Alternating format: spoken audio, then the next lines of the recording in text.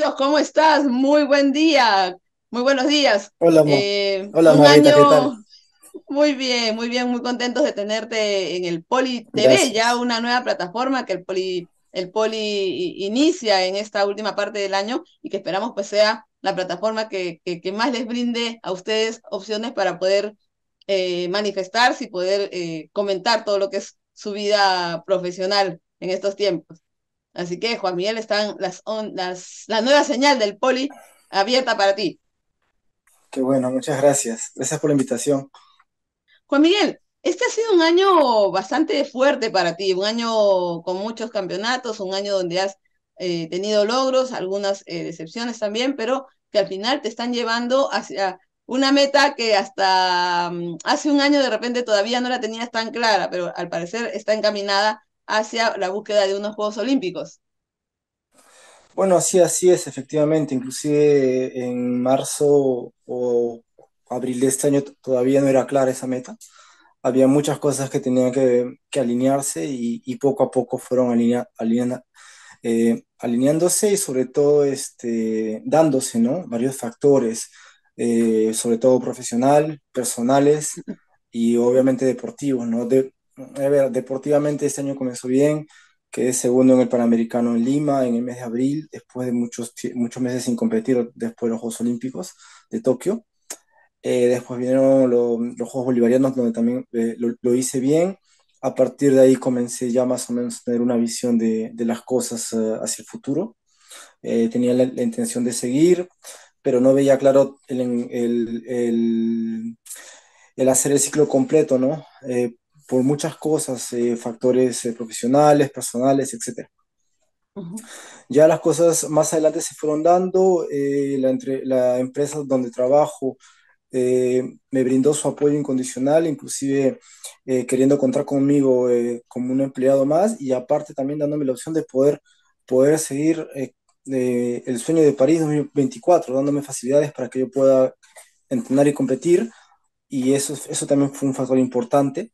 Después vino el, el factor personal, mi pareja estu- estuvo de acuerdo con, con que, con que yo siga, es algo es algo también importante para mí porque obviamente no, no, no puedes, este, no, no me podía enjaular y decir que no ayudo, ¿no? Entonces, por ese lado las cosas también se fueron, se fueron dando una tras otra y al final, bueno, el cierre de año fue importante, ¿no? Pudiendo marcar puntos en Tokio y, y- y estar en, por primera vez en un máster que es, que es bastante importante para el judo peruano, ¿no?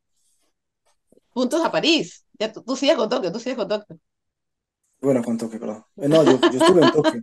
No, el, no, no, no, no, no. El, el torneo, el torneo antes del Máster fue Tokio, lo que me, lo que me permitió marcar puntos y después poder meterme al Máster, ¿no? Eh, es, es- eso sí importante, ¿no? Esos dos torneos, los, los dos torneos últimos en el año que fueron Tokio y, y después Israel el Máster.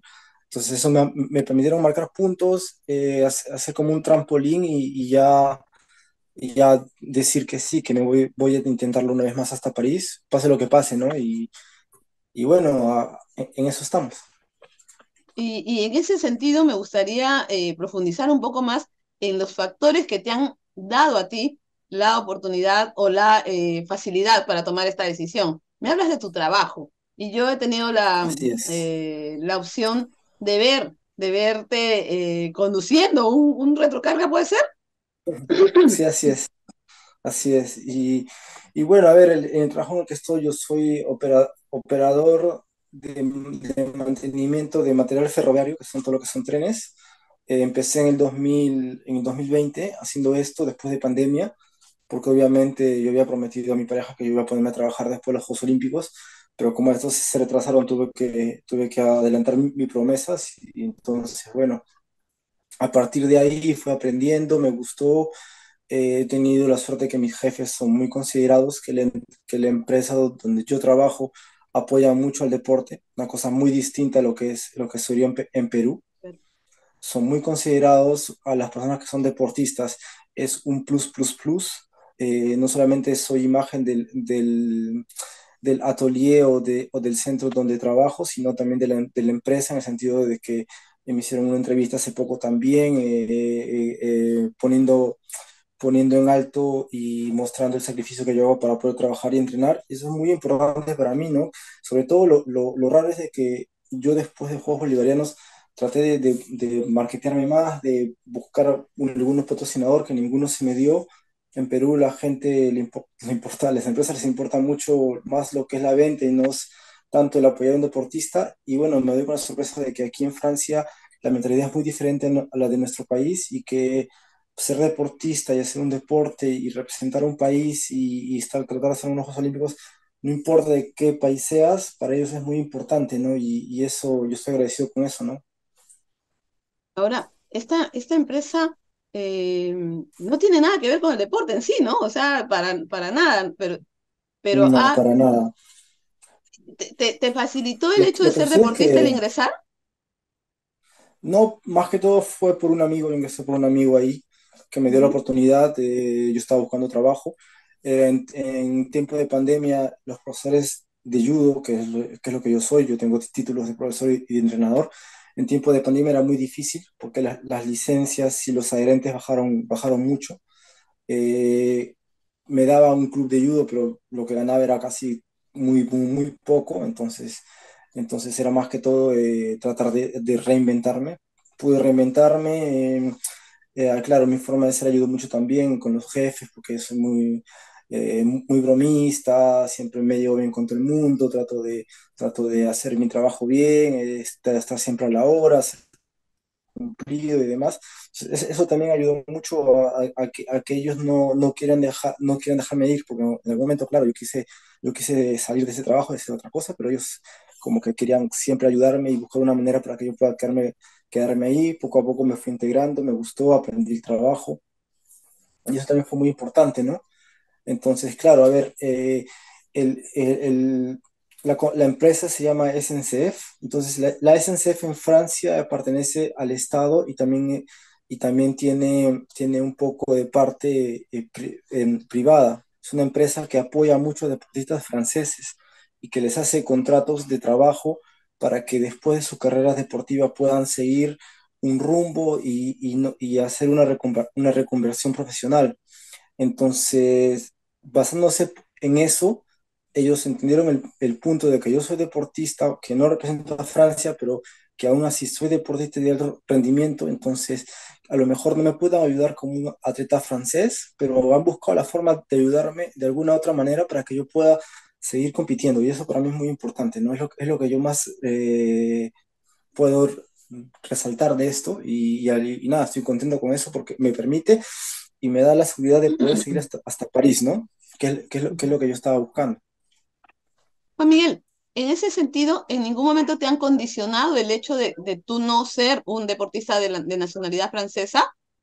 ¿No te No, pidieron en... al, al, contrario, o sea, en algún momento ellos querían hacerme un contrato de trabajo deportivo que existe, que era hacerme un trabajo como decir medio tiempo, medio tiempo trabajando y medio tiempo entrenando y pagarme un salario normal, pero como yo no, como yo no soy francés, no, no lo pudieron hacer. Entonces lo que hicieron es hacerme un contrato no, normal uh -huh. y darme, y darme días, más días de descanso, de vacaciones que otros, otros perso otras personas del personal no tienen, no tienen, ¿me entiendes? Entonces, y eso es para liberarme para que yo pueda ir a competir. O sea, me dijeron, tú vas a poder hacer, eh, si la, el personal ente lo tiene 20 días, tú vas a tener 35 días. ¿Me entiendes? Entonces, eso es lo que, eso es lo que han tratado de hacer para poder ayudarme y, y, gracias a eso yo pude firmar el contrato hace como tres semanas que yo estoy ya contratado oficialmente en, en esta empresa, ¿no? Entonces, Qué bueno, buen... la, la condición es hacer es, tener esta facilidad hasta París. Una vez las Olimpiadas acaben ya yo entro como un parte del personal normal, ¿no? Pero lo que ellos han buscado es una forma de que yo me integre al personal y puedan, y puedan contar conmigo hasta, hasta, más adelante, ¿no? Y para mí eso es un, es un plus. Qué bueno, y qué, qué diferencia, ¿no? Qué diferencia. Bueno, estamos hablando de Europa también, es, es, es otra mentalidad, pero se puede, los buenos ejemplos se pueden tomar así sea de realidades distintas. Y en ese sentido, Sí, la pues, verdad que sí. uh -huh, en ese sentido vemos que cuánto ayuda, y, y, está ayudando a un peruano además a, a, a lograr un nuevo sueño. Juan Miguel, ¿cómo estás? ¿Cómo está eh, eh, el cuerpo, cómo está la táctica, la técnica, la estrategia de cara precisamente a esta nueva eh, meta que tienes tú, que es volver a, a unos Juegos Olímpicos. Serían tus cuartos Juegos. Sí, bueno, si Dios quiere, sí, vamos poco a poco. Tenemos que, a ver, en, lamentablemente todo es, todo es, como se llama, son, son etapas, no son momentos. El deporte es momentos, es etapas, es preparación, es recomenzar de cero en cada competencia. Eh, a ver, un deporte de, alto rendimiento está golpeado por todos lados, tiene lesiones, tiene eh, golpes, eso hay que buscar una manera de, de reponerse, de, recuperarse y, y, de otra vez volver a la carga, ¿no? Creo que parte de parte del entrenamiento, parte de la carrera deportiva de un deportista. Ahorita estoy, la verdad, que tranquilo, recuperándome de, los, del siglo de competencias que tuve muy pegado a fin de año, que obviamente que fue un poco inesperado porque a ver, la crisis que, vive el país y, y, todo lo que está sucediendo afecta también al deporte directamente. Entonces nosotros no somos, no somos esquivas a este problema. Gracias a Dios la federación eh, trata de, de, ayudarnos, de apoyarnos, de, de ver la manera de, de buscar cómo, cómo mandarnos a, los torneos. Es un poco, es un poco difícil y da, un poco de pena por algunos uh, compañeros que están en Lima, que no pueden, que, no, que no han podido hacer todos los torneos pero, pero lamentablemente la federación, la federación tuvo que hacer un, tuvo que elegir a quién poder mandar, ¿no? Entonces, entonces bueno, la verdad que, que esto no, no, es culpa de, de, los que manejan el deporte, en, mi deporte, sino es más que todo un, un problema del gobierno que, que, es muy complicado para todos. ¿no? Uh -huh. eh, ahondemos en ese punto. Eh, sí, eh, te refieres al, al, último torneo que además te permitió a ti clasificar también para el torneo de Jerusalén junto a Liliana Bolívar. Eh, ¿Qué, qué pasó exactamente? Porque fueron tú, Yuta y Yunda. El, lo, que sucedió, que, sí, lo, lo, que sucedió, lo que sucedió es de que el, el, el, apoyo, el dinero del IPD nunca salió, con decirte de que de que estamos 26 de diciembre y que aún eh, el, el, apoyo al deportista del mes de noviembre y el mes de diciembre no sale.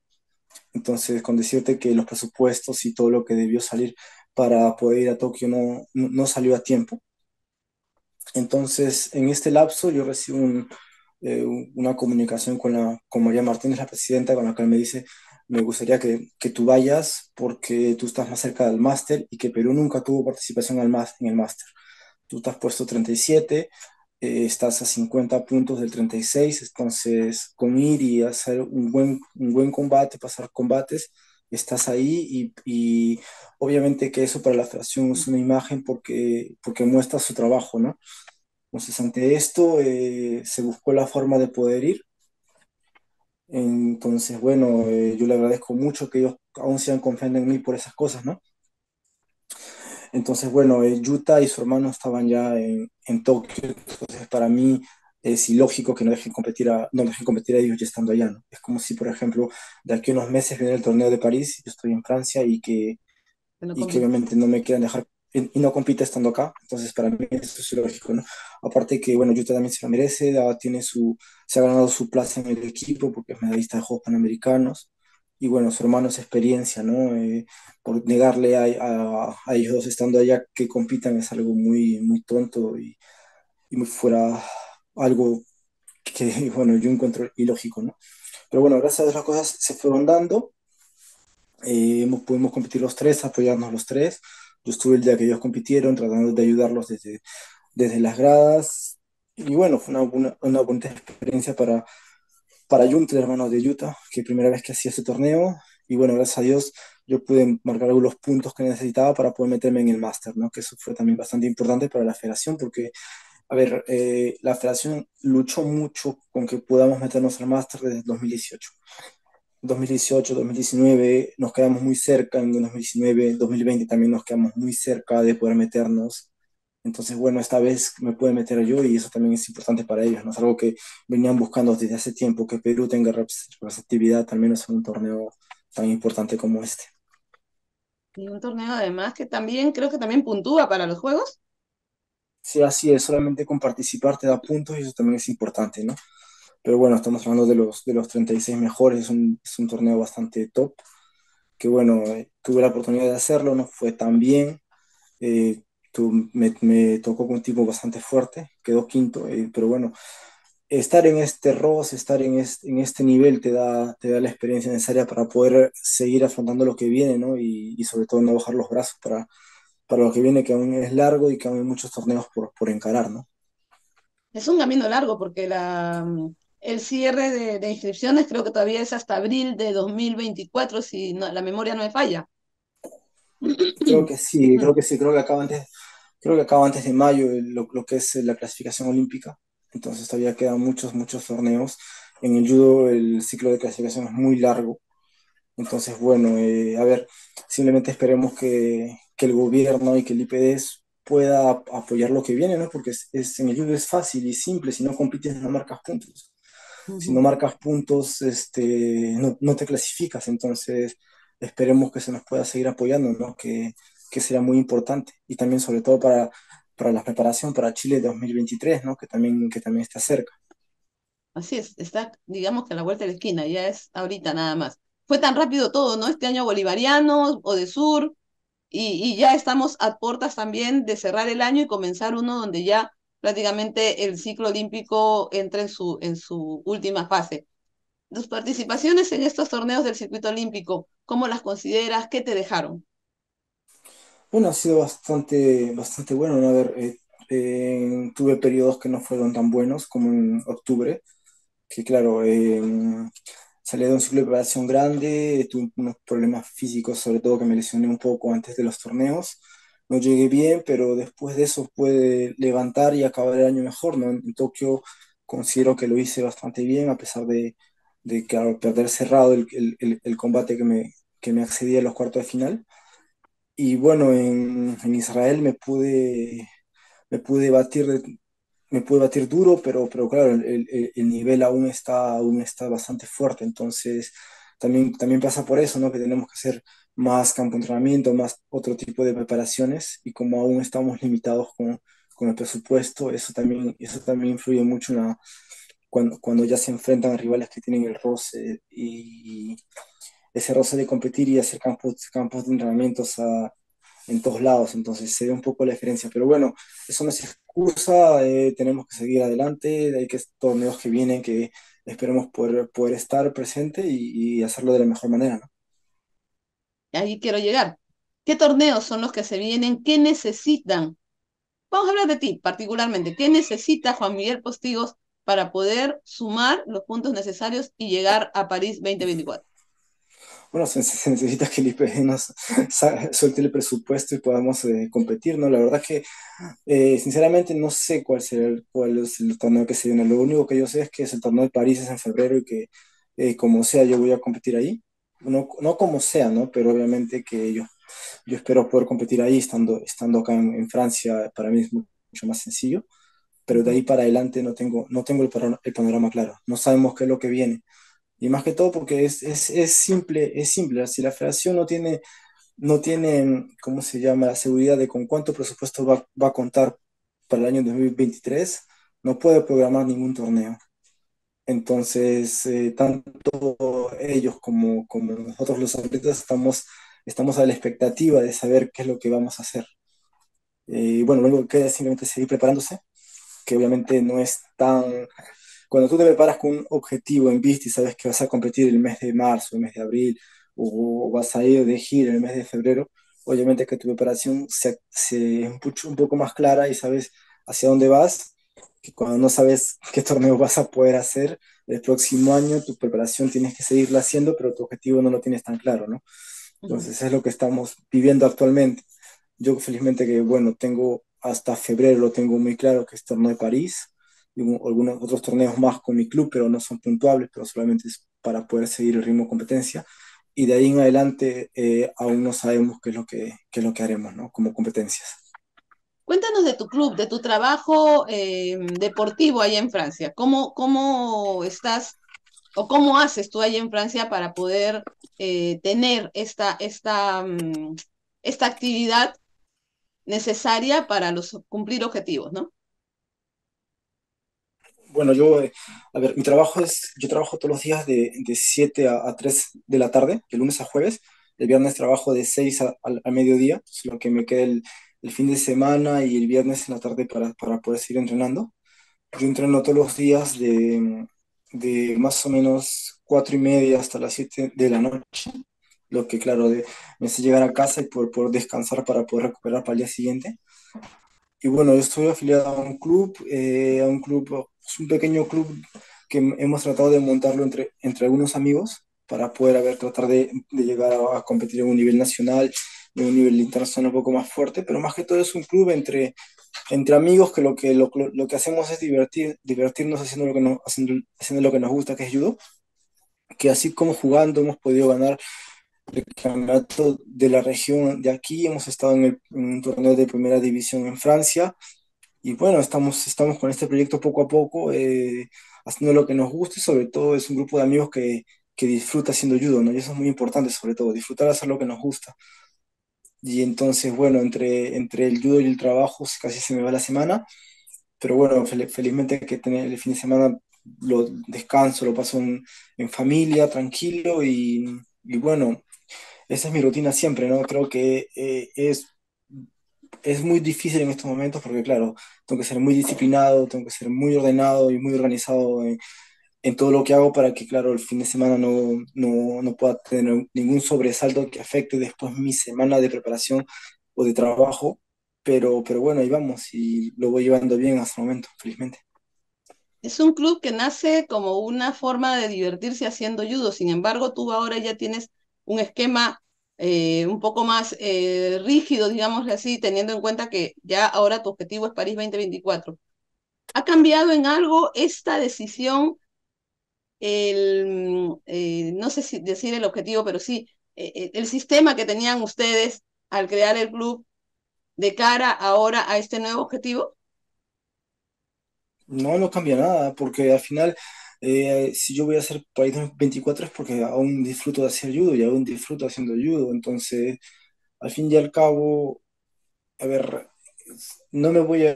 Este ciclo no, no me estoy metiendo en ninguna presión. Cuando, cuando en este año me, me, me metí un poco de presión, las cosas fueron muy mal. Eh, que fueron de Sur y el Mundial, porque la verdad que, que me metí un poco de presión, quería ganar de Sur. Eh, hace cuatro años no me había, me, me había quedado sin medalla, eh, no tomé las cosas como en bolivariano, que lo disfruté mucho, ¿no? Eh, estas cosas salieron mal, entonces simplemente volví a, lo, a hacerlo, a hacer, tener la mentalidad que tuve al principio de año, que era disfrutar de cada momento que queda, disfrutar con, haciendo judo con mis amigos, disfrutar haciendo judo a nivel internacional, y, y creo que las cosas fueron mucho mejor, entonces eh, yo ahorita estoy pensando de esta manera, ¿no? Quedan pocos años a lo mejor eh, de carrera deportiva, entonces tengo que disfrutar cada competencia o cada giro o cada torneo que, que tenga o cada vez que me, me meta al de hacer judo con mis amigos. Yo creo que las cosas están yendo mejor así, ¿no? Entonces al final, al final si, si el objetivo se da o si no se da, eh, bueno, no hay problema, pero yo disfruté del camino, disfruté de, de, los pocos años que me quedaron haciendo judo, entonces eso para mí va más importante por ahí. Juan Miguel, eh, sabemos que tú sigues, sigues chambeando, nosotros todavía estamos cerrando las semanas de, de, de Navidad y, y, bueno, ya se viene el fin de año. Un mensaje para todos aquellos que te escuchan, no solamente los deportistas, sino la gente también que, que ve en ti un ejemplo, ¿no? Una persona que desde muy chiquillo, muy chiquillo, ha tenido un norte muy claro y que aún ahora, en la madurez ya de su, de su, de su vida profesional, continúa dándole, buscando un objetivo olímpico. Bueno, nada, agradecerles por, por tomarme por, como ejemplo. Yo no sé si no, no me creo ejemplo de nada, ¿no? Simplemente trato de hacer lo que me gusta y trato de, de dar, de dar lo mejor para hacerlo, para hacerlo bien, ¿no? Sé que en algún momento las cosas han sido difíciles y como las seguirán siendo, ¿no? Pero bueno, hay que, hay que ser muy, muy disciplinado sobre todo y muy perseverante porque creo que al final el que, el que persevera con disciplina puede lograr algo importante. ¿no? Entonces, Creo que ese es el único mensaje que puedo dar, que sean perseverando con, con disciplina en, en, lo en, lo que, hagan y al final tener paciencia, ¿no? que las cosas tarde o temprano van a llegar y van a salir, ¿no? pero hay que ser muy pacientes y seguir trabajando fuerte. ¿Hasta París de 2024?